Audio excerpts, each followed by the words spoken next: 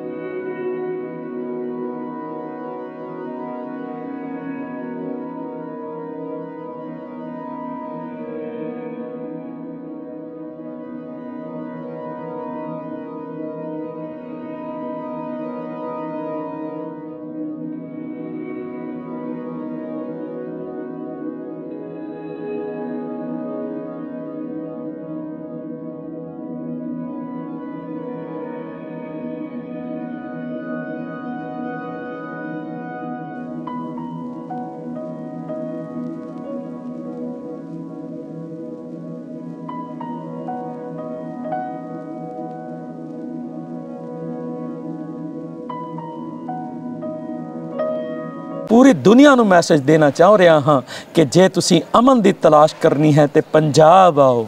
ਜੇ ਤੁਸੀਂ ਭਾਈਚਾਰਕ ਸਾਂਝ ਨੂੰ ਵੇਖਣਾ ਹੈ ਤੇ ਮਲੇਰਕੋਟਲੇ ਦੇ ਨੇੜਲੇ ਪਿੰਡ ਕਲਿਆਣ ਆਓ।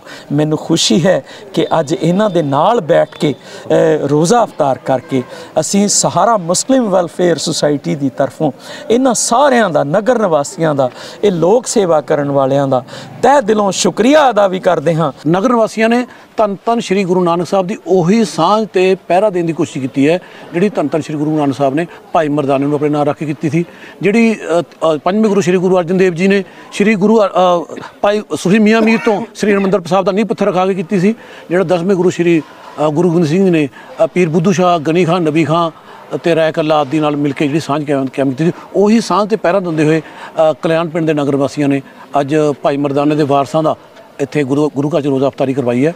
ਅਸੀਂ ਉਹਨਾਂ ਦੇ ਬਹੁਤ ਧੰਨਵਾਦੀ ਹਾਂ। ਇਹ ਜਿਹੜੇ ਮੁਸਲਮਾਨ ਭਾਈ ਸਾਡੇ ਇਹ ਛੋਟੀ ਜੀ ਸੇਵਾ ਦੇ ਸੱਦੇ ਦੇ ਉੱਤੇ ਸਾਡੇ ਕੋਲ ਪਹੁੰਚੇ ਨੇ, ਮੈਂ ਇਹਨਾਂ ਦਾ ਤਹਿ ਦਿਲ ਤੋਂ ਧੰਨਵਾਦ ਕਰਦਾ ਹਾਂ। ਸਾਡਾ ਇੱਕ ਛੋਟਾ ਜਿਹਾ ਉਪਰਾਲਾ, ਇਹ ਜੋ ਆਸ ਵਿੱਚ ਜਿਹੜਾ ਕੌਮਾਂ ਦੇ ਨਾਂ ਦੇ ਉੱਤੇ ਆਪਸੀ ਭੇਦਭਾਵ ਵਧਾਏ ਜਾਂਦੇ ਨੇ। ਅਸੀਂ ਉਹਨਾਂ ਨੂੰ ਵੀ ਕਿਵੇਂ ਘੱਟ ਕਰ ਸਕਦੇ ਆ ਅਸੀਂ ਸਾਡੀ ਕੋਸ ਇਹੀ ਸੀਗੀ। ਇਹਨਾਂ ਨੂੰ ਸਾਨੂੰ ਪੁੱਛਿਆ ਜੀ ਤੁਸੀਂ ਨਮਾਜ਼ ਅਦਾ ਕਰਨੀ ਆ। ਅਸੀਂ ਇਹਨਾਂ ਨੂੰ ਕਿਹਾ ਵੀ ਤੁਸੀਂ ਕਿੱਥੇ ਕਰਨੀ ਚਾਹੁੰਦੇ ਆ?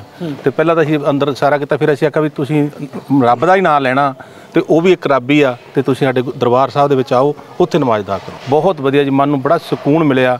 ਜੋ ਅਸੀਂ ਪਹਿਲਾਂ ਕਦੇ ਨਾ ਨਹੀਂ ਪਾਇਆ ਜਿਹੜਾ ਸਾਨੂੰ ਅੱਜ ਖੁਸ਼ੀ ਹੋਈ ਆ। ਖੈਰ ਪਹਿਲਾਂ ਕਦੇ ਨਹੀਂ ਮਹਿਸੂਸ ਨਹੀਂ ਹੋਈ।